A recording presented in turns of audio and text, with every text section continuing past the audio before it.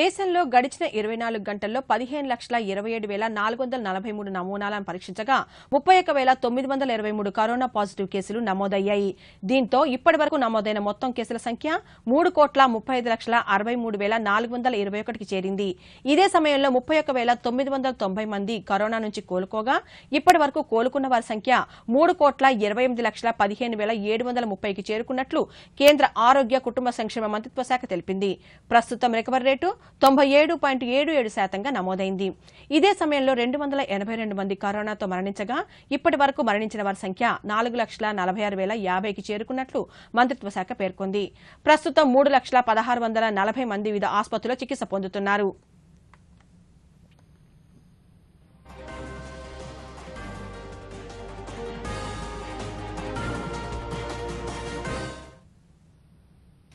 దేశవ్యాప్తంగా corona virus నిర్ధారణ పరీక్షల భాగంగా గడిచిన ఇరవై నాలుగు గంటల్లో పదిహేను లక్షల ఇరవై ఏడు వేల నాలుగు వందల నలభై మూడు నమూనాలను పరీక్షించినట్లు భారత వైద్య పరిశోధన మండలి ఐసీఎంఆర్ వెల్లడించింది దీంతో ఇప్పటి వరకు నిర్వహించిన కరోనా నిర్ధారణ పరీక్షల సంఖ్య యాభై ఐదు కోట్ల ఎనభై మూడు లక్షల అరవై ఏడు వేల పదమూడుకు చేరిందని పేర్కొంది మరిన్ని పరీక్షలు నిర్వహించేందుకు వీలుగా ప్రభుత్వ ప్రైవేటు ప్రయోగశాలలకు అనుమతులు మంజూరు చేస్తున్నామని ఐసీఎంఆర్ తెలిపింది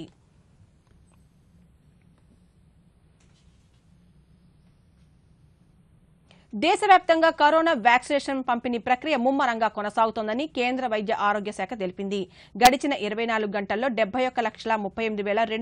మందికి పైగా కోవిడ్ వ్యాక్సిన్ ఇచ్చినట్టు తెలిపింది దీంతో ఇప్పటి వరకు దేశవ్యాప్తంగా కరోనా వ్యాక్సిన్ తీసుకున్న వారి సంఖ్య ఎనభై కోట్ల ముప్పై లక్షల తొంభై వేల చేరిందని కేంద్ర ఆరోగ్య శాఖ తెలిపింది